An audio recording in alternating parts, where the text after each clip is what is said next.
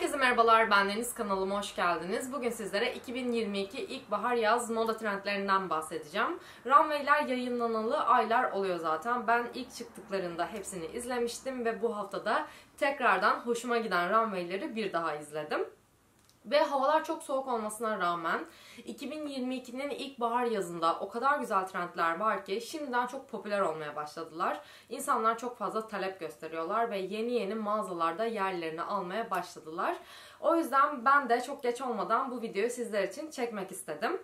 Ondan fazla trendi bugün sizlerle birlikte inceleyeceğiz. O yüzden çayınızı kahvenizi alın gelin derim. Bunlar daha çok benim ilgimi çeken, bana göre bu yıl çok popüler olacak trendler. Tabii ki bunlar dışında yine trend olacak. Yine hem mağazalarda hem de sokakta göreceğimiz birçok trend olacaktır. Ancak bugün bahsetmediysem demek ki çok da ilgimi çekmemiştir ya da bu video bir saat olsun istememişimdir. Ee, eğer bugün bahsetmediğim sizin ilginizi çeken, iyi ki var bu trend ya da neden geldi bu trend dediğiniz trendler varsa aşağı yorum olarak yazarsanız oradan da sohbetimize devam edebiliriz. İsterseniz hemen başlayalım. O zaman ilk olarak en trend rengimizle başlayalım. 2022 ilkbahar yaz sezonunun en trend rengi mor. Morlar, lilalar ve onları hemen takip eden pembeleri bu yıl sık sık göreceğiz. Yalnız pembeden kastım açık pembe ya da pudra pembesi değil. Daha çok canlı tonlarda olan pembe tonları. Yani şeker pembesi ve onun daha koyu tonlarını bu yıl sık sık göreceğiz. Benim en çok dikkatimi çeken ve en sevdiğim renk ise fuşya rengiydi ve fuşyanın içerisinde daha çok lilayı ve moru yakaladığınız o fuşya tonu. Yani lila ile aslında fuşyayı birleştirmişler. O renk kombinasyonu gerçekten çok güzeldi. Biraz magenta gibi ancak daha farklı bir ton. O rengi gerçekten çok beğendim ve mor lila bu magenta rengiyle hangi tonlar, hangi renkler yakışıyorsa onları da runwaylerde sık sık gördüm. Bunlar içerisinden en çok gördüğüm ise lime yeşiliydi. Fosforlu değil ancak neredeyse fosforlu gibi duruyor. Çünkü çok açık yeşille sanki hafif sarı ve orta ton yeşilin birleşmiş hali gibi olduğu için içerisinde hafif sarılık içerdiği için o yeşil neredeyse fosforluymuş gibi duruyor ancak değil. İşte bu yeşilin fuşya ve morla olan kombinasyonunu runwaylerde sık sık gördüm. Valentino'da ve Versace'de vardı.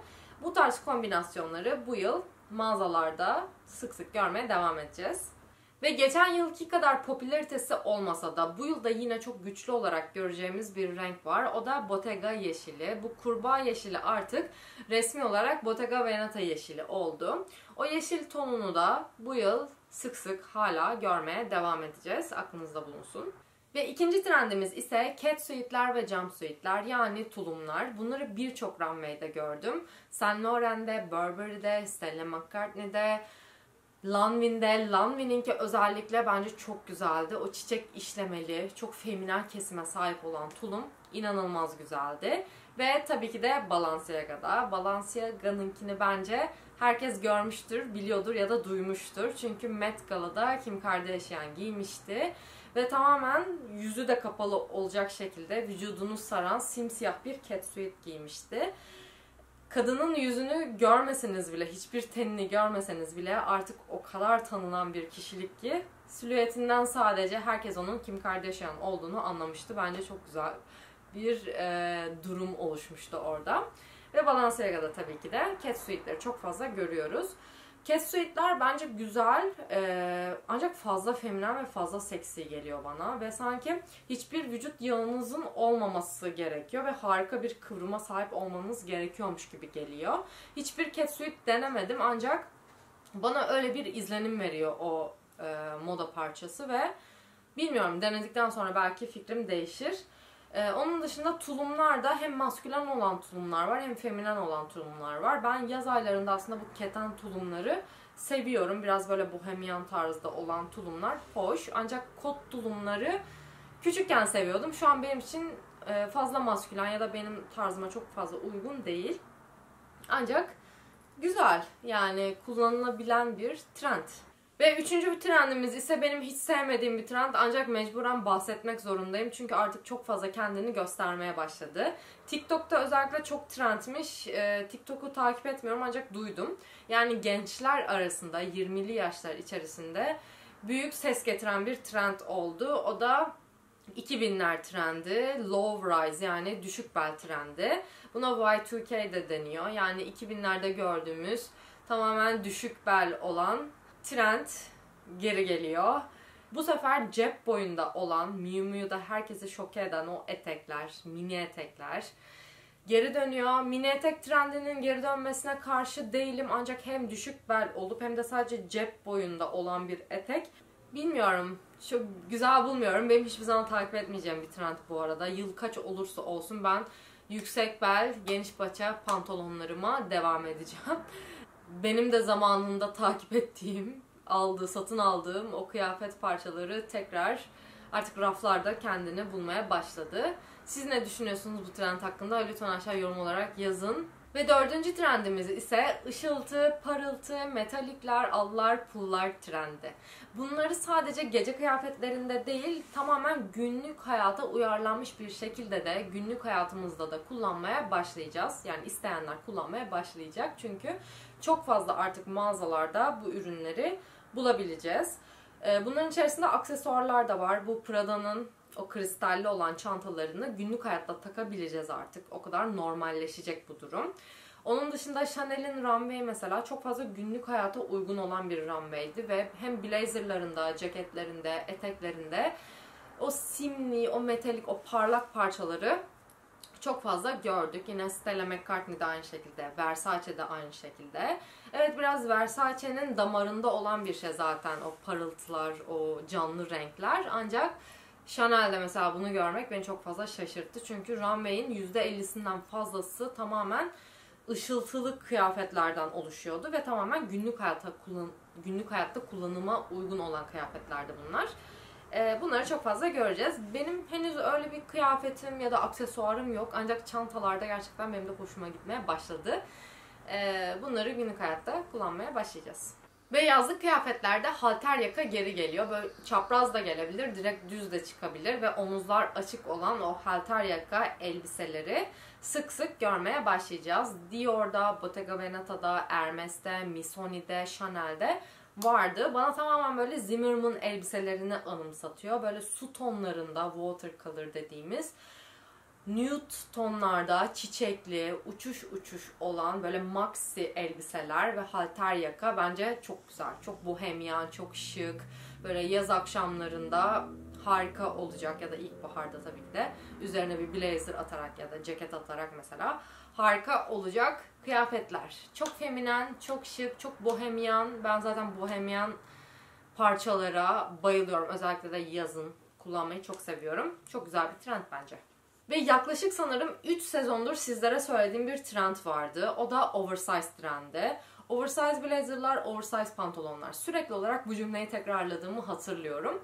2022'de artık bu biraz geri planda kalıyor. Yine oversize parçaları görüyoruz ancak sanki artık 3 e, beden büyükmüş gibi değil artık kendi bedenimizdeymiş gibi duracak şekilde olan parçaları görmeye başlayacağız ve özellikle de pantolondan çok etek şeklinde takım elbise kombinasyonunu göreceğiz. Yani buna skirt suit deniyor.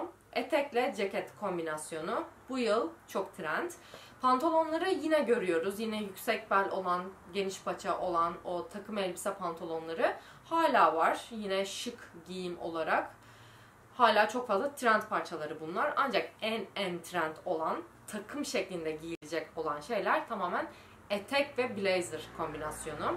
Chanel'dekiler inanılmaz güzeldi. Chanel zaten tweed'i çok güzel yaptığı için tweed şeklinde ceket ve aynı kumaştan, aynı desenden eteği inanılmaz güzeldi bence. Dior da yapmış. Dior biraz daha gençleştirmiş bence. Chanel de yine gençleşen bir marka olmaya başladı bu arada. Son 5 yıldır özellikle çok güzel gençlerin de kullanabileceği çok güzel parçalar, koleksiyonlar çıkartıyor. Ee, ancak Dior'unki gerçekten daha sportif gençti bu sefer. Bu runway'i en azından bana öyle geldi. Çok fazla sportif parçalar, çok genç, tamamen 18-20 yaş gibi duran parçaları çok fazla Dior'da gördüm. Onda da yine skirt suit şeklinde etek ceket kombinasyonu çok fazla vardı. Michael Kors'un ki bence çok güzeldi. Hafif Chanel'i anımsatıyor. Ve Versace'de vardı. Bunlar benim çok beğendiğim, bence çok şık duruyor. Ee, çok feminen duran takım elbise kombinasyonları. Ve geçen yıl çektiğim modası geçmiş trendler videomda bu ürün artık çok demode. Bunu almayın, bunun trendi geçti dediğim bir parça bu yıl çok popüler olarak geri döndü arkadaşlar. O da platform topuk ayakkabılar. Bunu Valentino ve Versace çok popüler bir şekilde yaptı ve çok güzel bir şekilde yaptı bence. Saint Laurent'inki mesela çok kötüydü. Hayatımda bu kadar bir runway'de yürüyemeyen mankenler gördüm. O kadar rahatsız olduğu belliydi ki hiçbiri yürüyemiyordu. Eminim hepsi çok tecrübeli mankenler bu arada. Ancak hiçbiri yürüyemiyordu. Ve çok çok çok rahatsız durduğu belli olan bir e, platform topuktu o Saint Laurent'inki. Ancak özellikle Versace'ninkine ben bayıldım. Saten kaplama hepsi. Lilası var, pembesi var sarı böyle fosforlu sarısı var, siyahı var. Ee, çok güzel Bretz bebeklerin ayakkabılarına benziyor ve giydiğinizde de siz de bir Bretz bebek haline geliyorsunuz onu giydiğinizde. Bence çok tatlı. Ee, onun dışında Chanel'inki güzel. Böyle hafif Chanel minimalistliğinde olan, üstünde çok tatlı küçük küçük CC'leri olan, çok kullanışlı olan bir günlük hayatta kullanabileceğiniz çok rahatlıkla bir platform topuk yapmıştı. O bence çok güzeldi. Mesela alırsam onu alabilirim. Ancak Valentino'nunki ve Versace'ninki bence çok fazla duruyor. Bilmiyorum. Ee, ben böyle sürekli bana bakılsın bilmiyorum. Ee, o kadar fazla duran şeyleri kendim taşıyamayacakmışım gibi hissediyorum. Ee, o yüzden o tarz şeyleri yapamıyorum. Aslında böyle düşünmemek lazım. Yani insanlar bakıyorsa baksın ne olacak yani sevmişim, almışım, giymişim. Bu huyumu biraz aşmam gerektiğini biliyorum. Benim çok fazla takip etmeyeceğim bir trend dediğim gibi. Ayakkabıda daha çok minimal olan ayakkabıları seviyorum. Ancak e, Chanel'inki çok güzeldi mesela. Onu çok beğendim. Çok çok güzel bir platform topuktu bence. Ben oradan başlayabilirim mesela. Ondan sonra Versace'ninkine geçiş yapabilirim diye düşünüyorum. Aslında mesela bu Versace'nin Bretz platform topuk ayakkabıları sonbahar 2021'in özellikle runway'inde gösterilmişti ve o zaman aslında satışa çıktılar. Ancak bunlar şu an ilkbaharda daha çok giyilebilen ayakkabı türleri olduğu için ve şu an popülerliği çok arttığı için tamamen 2022 trendi olarak sizlere söylüyorum. Yoksa aslında bunlar sonbahar koleksiyonunda gösterilmeye başlamıştı. Ve platform topuktan tamamen düz, topuksuz olan balerinalar bu yıl çok moda olacak. Hiçbir topuğu olmayan tamamen balerina şeklinde olan ucu genellikle de hafif yuvarlak oval gelen o balerina, klasik balerina ayakkabılarını bu yıl çok fazla görmeye başlayacağız. Geçen yılın en trend ilkbahar yaz ayakkabısı daha çok sonbaharlık bence o. Loafer'lardı. Loafer'lar bu yıl biraz geri planda kalıyor. Hala var. Hala çok popülerler. Hala çok trendler. Ancak daha çok ya platform dolgu topuk ayakkabıları ya da düz, dümdüz olan o daha böyle silim olan, daha silik yani zarif olan balerinaları loaferlardan, o kaba loaferlardan daha fazla görmeye başlayacağız. Ve benim çok fazla dikkatimi çekmeye başlayan bir trend var. Bu belki de çok fazla günlük hayatımızda göreceğimiz bir trend değil. Sadece partilerde, selebritilerde ya da gece hayatında göreceğimiz bir trend. Ancak çok fazla dikkatimi çektiği için sizlere söylemek istedim. Bayağı retro bulduğum ve e, hoş bulduğum bir trend. O da eldivenler. Bunu Met Gala'da Gigi Hadid giymişti elbisesiyle birlikte hatırlarsınız. Sanırım onun elbisesini e, Tom Ford tasarlamıştı diye hatırlıyorum. Belki de yanlış hatırlıyorum emin değilim. Onun dışında Beyoncé'de ben çok fazla gördüm. Yine Balenciaga ile Gucci'nin yaptığı Aria koleksiyonunda e, orada da çok fazla kıyafetle bütünleşen eldivenler vardı. Eldiven trendi biraz lüks ve böyle gece hayatına uygun olan e, bir trend. Onu görmeye başlayacağız. Ve artık yine söylememden sıkıldığınız bir trend var ancak kısaca geçeceğim. O da cutout trendi. Cutout trendi hiçbir yere gitmiyor arkadaşlar. Hala burada, hala yenilikçi bir şekilde, sürekli kendini yenileyecek şekilde bizlerle olmaya devam ediyor. Her şeyde cutout görmeye başladık artık. Blazerlarda, üstümüze giydiğimiz kazaklarda, bodylerde, trikolarda, pantolonlarda, aklınıza gelebilecek artık her şeyde cutoutlar olmaya başladı. Eskiden sadece bir iki trikoda ve elbisede cutoutlar görürken artık şimdi her şeyde aklınıza gelebilecek her şeyde cutout görmeye başladık. Güzel bence. Giyilebileni var, giyilemeyeni var bence. Ee, benim sevdiğim, olursa da hayır demeyeceğim bir trend. Ancak bazen bir ürün beğeniyorum. Sonra arkasını bir dönüyorum, arkası yok. Komple cutout. Yani çok da ihtiyacım var. Tamamen böyle basic bir ürün diye alacağım onu mesela. Ancak arkası tamamen cutout yani.